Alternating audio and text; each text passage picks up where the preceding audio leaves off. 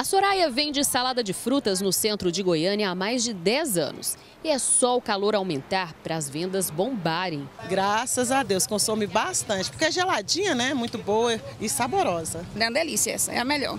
O suco de laranja também faz sucesso. Esse ambulante vende mais de 10 jarras de 3 litros e meio por dia. E acaba rapidinho. Muito suco de laranja para hidratar. E vai rapidinho, como é que é? Rapidinho, rapidinho. No calorão desse aqui, rapidinho, vem tudo.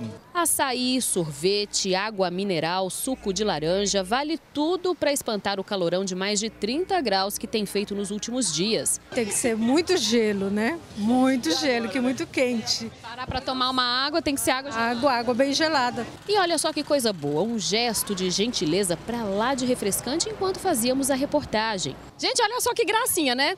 Fui surpreendida aqui pela dona Joana, a gente fazendo a matéria no calorão, debaixo do sol quente.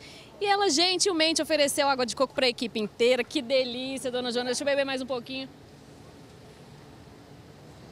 Geladinha, fresquinha, deliciosa. Muito obrigada, viu? Obrigada a você, querida. Obrigada a você. Boa tarde para vocês também, tá? Tudo de bom. As amigas já saem de casa com as garrafinhas de água. Aguinha, água mineral aqui, porque senão não dá não, não tem como não andar. Eu tô levando em duas, uma congelada e uma pra gente misturar, porque a garganta inflama, né? Com esse calor tá inflamando demais. A previsão para o fim de semana é de ainda mais calor e temperatura na casa dos 32 graus em Goiânia.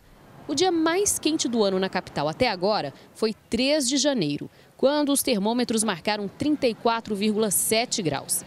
E segundo o Instituto Nacional de Meteorologia, o mês de janeiro promete temperaturas cada vez mais altas e pancadas de chuva para ajudar a amenizar o calor. Está aquela condição bem de verão mesmo, abertura de sol, temperaturas elevadas, depois vem aquela pancada isolada, às vezes não é geral, em alguns pontos da cidade e outros não, e aí passa e no outro dia de novo aquela mesma condição.